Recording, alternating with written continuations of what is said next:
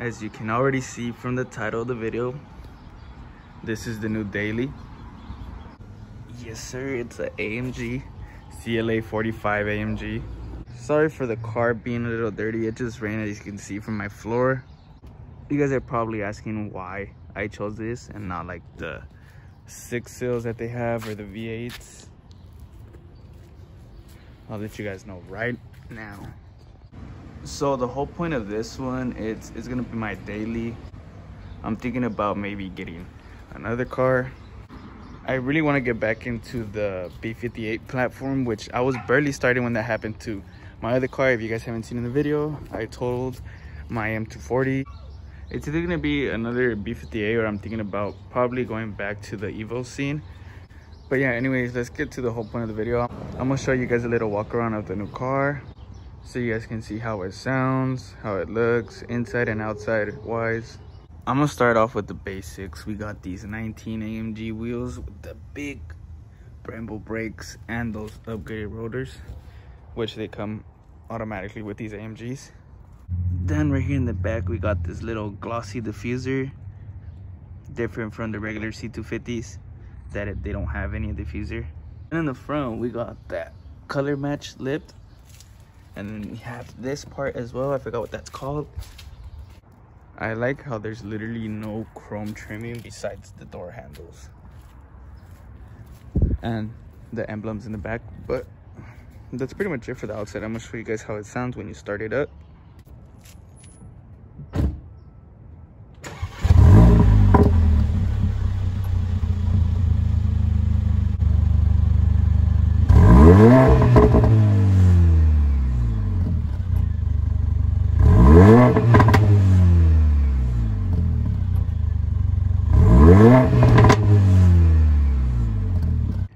So yeah, that's how it sounds. The car actually sounds pretty good for being a four cylinder. From what I know, it's on the stock exhaust, stock mid pipes, literally has all the cats, resonators, whatever you can think of.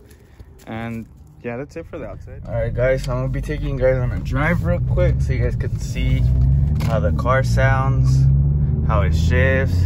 I'm gonna switch it to wide angle. All right, I have the camera in wide angle now. I feel like it looks better like the point of view that you have. In a way you can see the steering wheel the stereo everything.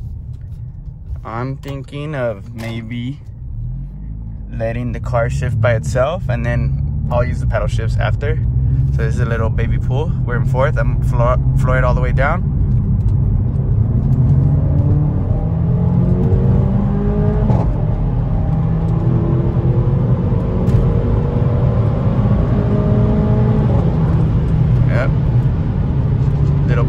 right there with the car shifting by itself.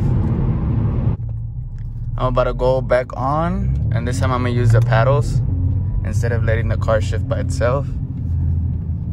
Sorry for like stuttering and stuff. I'm not really used to talking on the camera. The second gear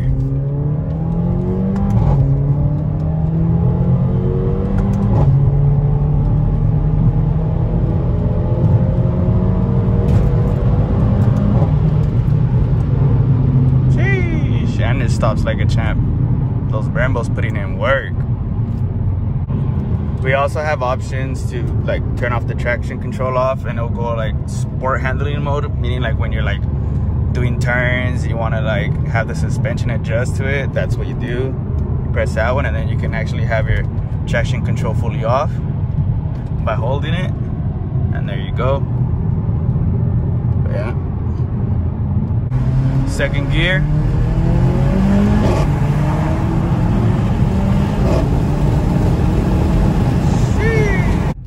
It's funny because right now when I shift like really low and go like kind of slow, the car literally sounds supercharged. It whines. Oh, you could kind of hear it right here.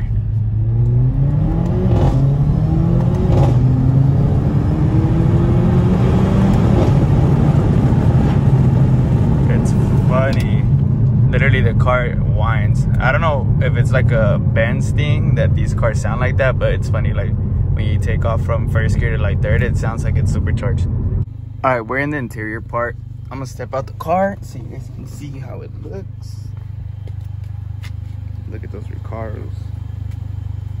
you guys don't understand how hard it was to find the specific spec with Recaros with the red stitching on it. We obviously have aluminum paddles, as you can see right here. Most of the other ones don't even come with aluminum paddles. They give you like the little basic plastic ones. The best part about these Recaro seats is that you could adjust them. This can fold in and this also folds in. Uh, you guys can't really see, but you can hear them moving. So this is how the back looks. We got the red seat belts. Point of view in a way from the back seat. Got the red air vents. This goes down everything. I don't know if you guys care about all that stuff, but it's pretty cool, kind of spacious as well. This how fit sitting behind myself. Got the AMG logo right there. I know you probably want to see the screen. You got AMG right there. So mine comes with navigation. You could get like, you know, Bluetooth. Also, one thing I really like, how it shows the car. It doesn't give you the basic C250 model. It gives you exactly how your car looks at the front lip with the wheels and everything. Looks pretty sick for your vehicle settings. One thing I noticed when I bought the car, well after that, the car didn't have a sunroof which I don't mind, but preferably I would have wanted one with a sunroof. So now I'm gonna show you what's under the hood of this car. So this is how the engine bay looks for my specific AMG model. I have the 2.0, it's a four cylinder, obviously. Keep in mind, I only got this car for a daily. I'm not gonna be doing anything to it. We have the turbo right there. If I wanted to, it's literally extremely easy to swap out the turbo it's right here and then we got the downpipe that's right there we have the intake and then we have the ECU that you can swap these out for like a tuned version of it I've seen a lot of those up for sale by Weistec or like other shops I really like how they decided to give you a carbon fiber engine cover. It's not carbon carbon fiber but it's like the dry carbon fiber. And then we got right there handcrafted. I just got finesse I literally placed the engine cover on the floor and this thing literally popped off right out of it. Anyways back to where we were at. And then we have the intercooler that's located right here on this side looks like it'll be pretty hard to reach because we'll have to remove the intake the ECU uh, to be able to get all the way down here. That thing literally won't stay but yeah now that I kind of think about it I kind of want to do something to it. To me it feels like it's personally too quiet. I feel like maybe an exhaust and an intake just to so i could get like a little noise coming out from the car i feel like it literally sounds super quiet from the inside but yeah let me know what you guys think if i should do something to it like any little thing maybe like a downpipe turbo intake intercooler maybe a ECU upgrade, which is like their tunes that they have for these cars available. I'm not sure what I want to do, but yeah, just let me know what you guys think.